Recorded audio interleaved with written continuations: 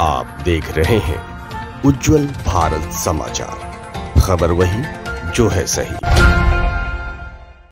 स्वागत है आपका उज्जवल भारत समाचार में। नमस्कार आपके साथ मैं हूँ खुशबू महाराष्ट्र में इसी साल के अंत में होने वाले विधानसभा चुनाव से पहले सियासी दलों ने अपनी तैयारियाँ तेज कर दी हैं। तमाम नेता इन दिनों लगातार लोगों के बीच में नज़र आ रहे हैं। राज्य के पूर्व मुख्यमंत्री और शिवसेना यूबीटी के नेता उद्धव ठाकरे रविवार को शिरडी पहुँचे और एक सम्मेलन को संबोधित किया।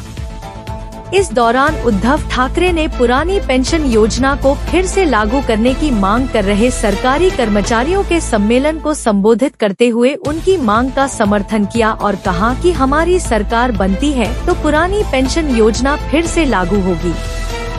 उद्धव ने खुद को दौर से किया अलग उद्धव ठाकरे ने कहा कि उन्होंने कभी मुख्यमंत्री बनने का सपना नहीं देखा था और अब भी नहीं देखता हूँ। ठाकरे ने कहा, मैंने मुख्यमंत्री बनने का सपना न तब देखा था, न अब। मैं सत्ता से संन्यास नहीं लूँगा। मुझे कोई भी सत्ता से बर्खास्त नहीं कर सकता।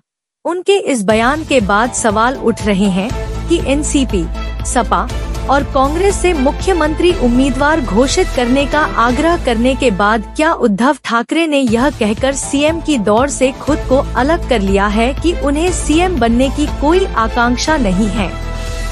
उद्धव ने कहा, याद रखें, जिन्हें हम परिवार मानते थे, उन्होंने विश्वासघात किया है।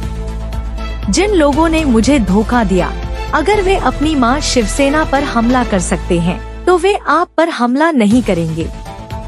इसलिए मुझे यह सरकार नहीं चाहिए। मेरा मुख्यमंत्री बनने का सपना नहीं था और अब भी मेरा वह सपना नहीं है। मेरे लिए महाराष्ट्र की जनता महत्वपूर्ण है। आपको बता दें कि पिछले महीने ही उद्धव ठाकरे ने मांग की थी कि महाविकास अघाड़ी एम का सीएम का चेहरा जीती गई सीटों की संख्या के आधार पर तय नहीं किया जाना चाहिए।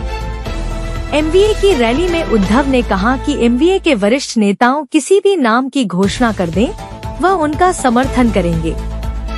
दूसरी ओर महाराष्ट्र कांग्रेस के अध्यक्ष नाना पटोले ने स्पष्ट किया था कि इस तरह के फैसले दिल्ली में पार्टी के शीर्ष नेता लेते हैं तब तक एमवीए ही एकमात्र चेहरा है। पुरानी पेंशन स्कीम करेंगे लागू। उद्धव ठाकरे ने दोहराया कि अगर विधानसभा चुनाव के बाद राज्य में महाविकास अघाड़ी एनसीपी कांग्रेस और शिवसेना यूबीटी की सरकार बनती है तो पुरानी पेंशन योजना को फिर से लागू किया जाएगा। उद्धव ने कहा, इससे पहले सुभाष देसाई बोल रहे थे कि राजनेताओं को कितनी पेंशन मिलती है। उन्होंने उल्लेख किया कि पूर्व सीएम के रूप में मुझे कितनी पेंशन मिलेगी।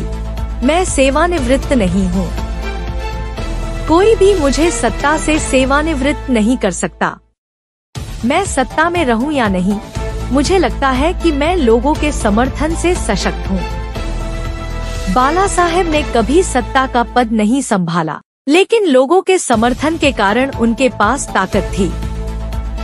अभी के लिए फ़िलहाल इतना ही। ताज़ा तरीन खबरों को जानने और देखने के लिए आप हमारे उज्जवल भारत समाचार को लाइक शेयर एंड सब्सक्राइब ज़रूर। करें और अपने सुझाव हमारे चैनल के कमेंट्स बॉक्स में साझा ज़रूर करें। दीजिए इजाज़त। नमस्कार। आप देख रहे हैं उज्जवल भारत समाचार। खबर वही जो है सही।